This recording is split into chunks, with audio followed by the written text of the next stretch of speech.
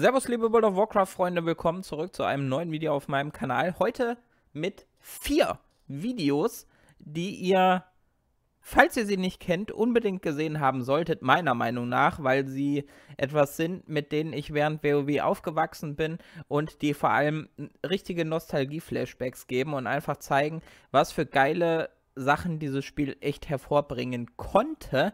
Wie gesagt, ist eine persönliche Zusammenstellung teilweise auch von Spielern, die man mal gehört oder gesehen haben sollte, eventuell, wenn man sich dafür interessiert. Einfach mal als kleiner Vorschlag, weil das teilweise echt Videos sind, ähm, weiß ich nicht. Die kenne ich teilweise schon, wenn ich zwölf, äh, zehn, zehn Jahre oder so wie lange ist das eine her? Ja, so in dem Dreh. Und weiß nicht, es gibt mir immer noch teilweise, ja, bei einem Computerspiel Gänsehaut. Das ist das zweite hier in der Auswahl. Also freut euch schon mal drauf, wenn ihr noch irgendwelche sonstigen Vorschläge zu dem Thema habt, gerne in die Kommentare. Und bei einigen Videos, beziehungsweise bei zweien, muss ich den Ton ausmachen, da die Musik da drauf liegen haben und ich nicht weiß, ob die copyrighted ist. Und wenn doch und ich spiele es trotzdem ab, kriege ich eine auf den Sack und das will ich nicht und dementsprechend, ne? Ähm, das erste Video ist eigentlich eine. Ihr seht schon, die Videos sind teilweise etwas älter, dementsprechend ist die Qualität nicht die geilste. Aber in dem Fall geht es stellvertretend um den Spieler Swifty. Wer ihn nicht kennt, mittlerweile ist er doch schon, muss man, muss man so sagen, ein etwas älterer WoW-Spieler. Und seit Anfang an dabei. Seine Hochzeiten hat er hinter sich. Vor allem kam er da über Classic und so weiter zutage. Und man kannte ihn vor allem deshalb, weil er Krieger gespielt hat. Und teilweise, er war so ein bisschen, würde ich vielleicht sagen, der Rextreu der damaligen Zeit. Vor allem, ich sag mal, was damals irgendwie, wenn man neu mit WoW kam, irgendjemand hat dann mal das äh, Swifty One-Shot-Makro oder so erwähnt. Und Thema war letzten Endes, Swifty hat vor allem PvP gespielt mit seinem Krieger und hat Kombinationen aus, weiß nicht, Makros, Trinkets, Fähigkeiten, Abilities, sonst was gespielt, mit denen er teilweise Gegner im BG auf absurdeste Weise in ziemlich schneller Zeit einfach wegrasiert hat. Und das ist jetzt so eine Compilation davon, wo immer davor gesagt wird, was er macht. Und am Ende sieht man das in feinsten Pixelbrei nochmal aufgezeigt. Aber, ähm, weiß nicht, Swifty war früher, wenn man das Spiel früher gespielt hatte, echt, echt irgendwie Kult. Und äh, hier zum Beispiel, dass er dreimal hintereinander Schieb gebrochen hat mit, leider sieht man nicht wodurch. Aber auf jeden Fall, ja gut, jetzt ist er immun. Aber auf jeden Fall, es sind echt lustige Videos. Am besten finde ich die Sachen, äh, wenn er irgendwo im BG ist und jemanden anchargt und ihn gefühlt in zwei Sekunden einfach mal übers Brett schickt. Hat schon einen gewissen Charme. Und wie gesagt, good old times. Ähm, das heißt nicht, dass mir WoW Classic sonderlich gut gefallen hätte, aber die Swifty-Videos, die waren damals schon die waren schon ziemlich kult, muss ich sagen. Aber kommen wir zum nächsten Video und das ist, glaube ich, mein absoluter Favorit aller WoW-Videos.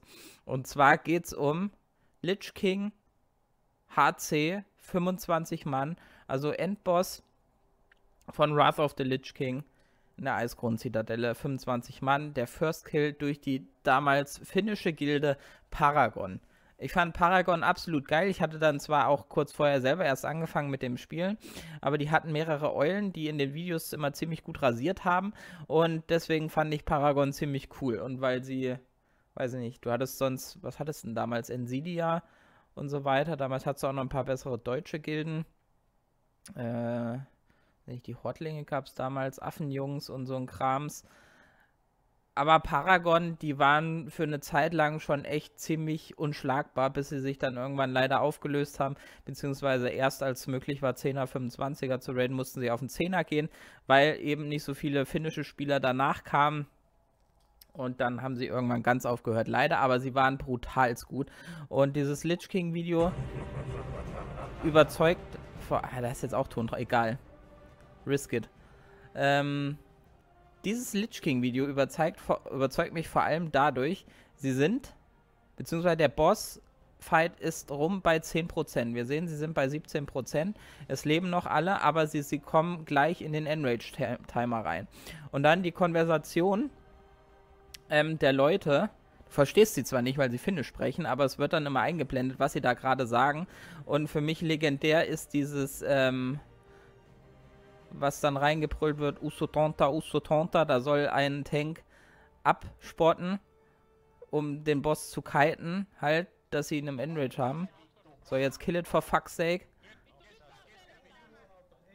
So, jetzt werden sie aber nochmal reingezogen in die Zwischenphase. Und wenn sie da rauskommen, geht der Boss direkt Enrage. Also es ist fucking close. So. Oh, ich, ich liebe es. Da kriegst du direkt wieder... Ja, wirst du bockig as fuck, wenn du das siehst.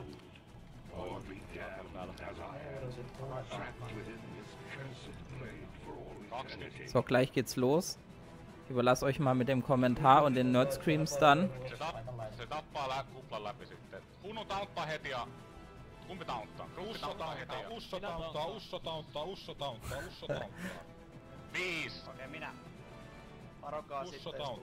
Hier scheinbar war es ein Hunter.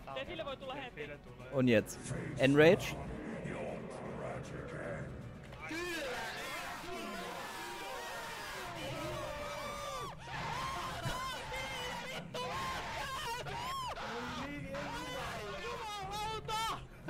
Ich finde es so gut. Ich finde es so gut, wie sie sich, wie sie sich einfach freuen und diese Nerd-Screams hinten raus ist, ist der Hammer. Ich liebe es ähm, immer wieder. Einfach, ich glaube, das ist auch mein Lieblings-Kill-Video von allen Bossen. Es gibt bei anderen Boss-Kills, auch neueren, auch noch ziemlich nice Nerd-Screams, aber das ist schon weiß nicht, mit dieser ganzen Dramatik dabei und du verstehst sie nicht und so. Es ist schon ziemlich cool. Kommen wir zum nächsten Video, was mittlerweile leider eher ein bisschen traurigeren Hintergrund hat. Falls ihr noch, was heißt noch, wer ihn kennt, Wreckful, ähm, ursprünglich bekannt geworden durch WoW, ein extremst guter Schurke zu zahlreichen früheren Seasons der dann irgendwann aber auch mal von Blizzard gebannt wurde und dann nicht gespielt hatte und dann war er dann doch wieder mal dabei und dann hat er mal Hearthstone und was weiß ich noch gespielt und ähm, ja, es endete leider dabei, dass er halt auch unter Depressionen litt und sich selbst umgebracht hat. Hat er jetzt auch äh, einen NPC, der ihn letzten Endes ehrt im Spiel. Und es gibt mehrere Compilation-Videos, die heißen Wreckful 1 bis, weiß nicht, gab es mehr als drei, vier, fünf? Auf jeden Fall, es waren mehrere Videos. Und er schreibt halt einfach immer nur dabei, äh, das wird immer hier dann eingeblendet, was er in der Situation gemacht hat. Weil als normaler Spieler, so wie ich zum Beispiel auch, der sich im PvP nicht auskennt, habe ich manchmal keine Ahnung, was da jetzt so besonders dran war, was er dann gemacht hat. Aber wenn du dann teilweise liest, dass er sich innerhalb von, weiß ich nicht, äh, hier ist er zum Beispiel fast low und ich glaube, das war ein Fall, wo er dann trotzdem noch alleine fast das komplette Team auseinander nimmt von den Gegnern. Also der Typ war mit dem, was er gespielt hat, einfach äh, brutal gut. Und ähm, Schurke war für mich auch immer so eine Klasse, da bin ich nie rangekommen. Ich glaube, da bin ich auch zu, zu useless für. Sowohl im PvE als auch im PvP. So, da schreibt er jetzt, war ja fast dead, wurde ein bisschen hochgeheilt. Dann die Rauchbombe wieder in Stealth gegangen und jetzt kommt die nächste Smoke Bomb, da zerlegt er jetzt halt einfach mal den anderen Schurken. Zack, ist er dead. Und das sind dann halt alles so Sachen. So ein bisschen geht es in die Richtung wie bei den Swifty-Videos. Aber ich glaube, der Typ war von allen Leuten, die ich so in Sachen PvP damals mitbekommen habe, somit ziemlich das Beste, was das Spiel zu bieten hatte. Meiner Meinung nach. Und ich mochte auch ihn als Persönlichkeit. Er war zwar ähm, auch in seinen Streams jetzt mit dem Hintergrundwissen dann, beziehungsweise hat er auch schon vorher öffentlich gemacht, dass er psychische Probleme hatte. Ähm, ja, war nicht immer vielleicht der einfachste, aber ich mochte seine Art. Und er war halt ein echt guter Spieler und meiner Meinung nach auch ziemlicher Verlust für die Community.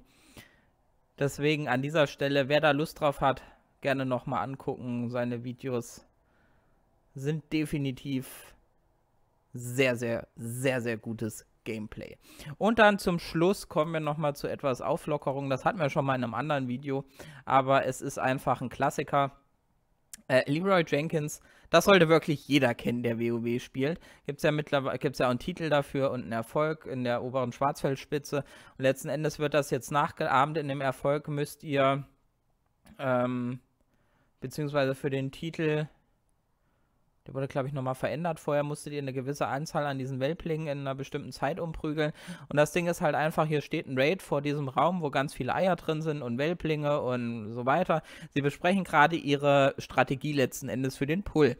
Ähm, ist eine Gilde und ihr seht, der Paladin Leroy ist AFK. Er kriegt nicht mit, was hier passiert.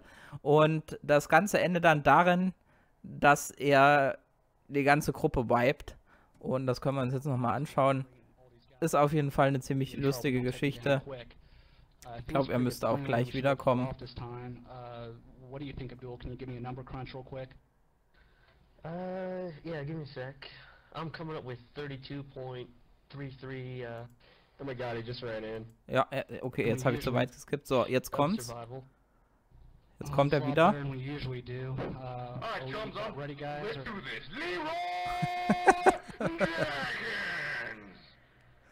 Oh my god, he just ran in. Save him! Oh gee, stick to the plane! Oh Jesus, let's go, let's go.